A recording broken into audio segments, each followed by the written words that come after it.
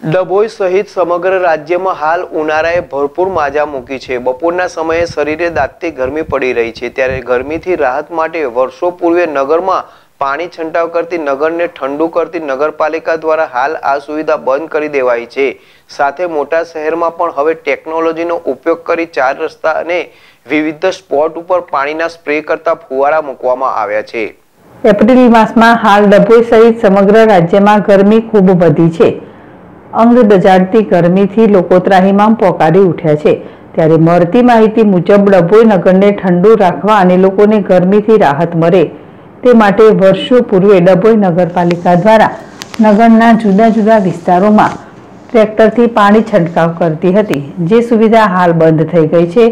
મોટા શહેરોમાં પાલિકા દ્વારા ગરમીથી રાહત થાય તે માટે ટેકનોલોજીનો ઉપયોગ કરી ચાર રસ્તા અને જુદા જુદા સ્પોટ ઉપર રાહદારીને ઠંડક થાય તે માટે સ્પ્રે ફુવારા મૂકવામાં આવ્યા છે.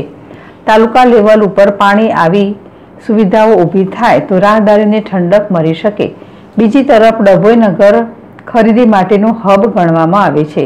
આસપાસના ગ્રામજનો મોટી સંખ્યામાં ખરીદી અર્થે આવતા હોય છે.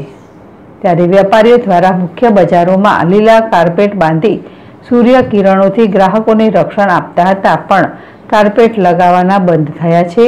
તેવામાં હાલ ઓગણચાલીસ ડિગ્રી તાપમાનમાં લોકો ગરમીથી ત્રસ્ત થઈ રહ્યા છે.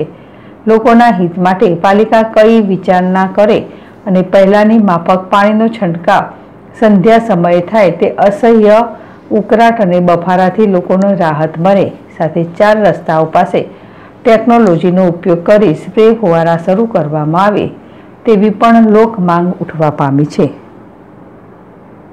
વિજય બારોટ જેડેશ ટીવી ડભોઈ.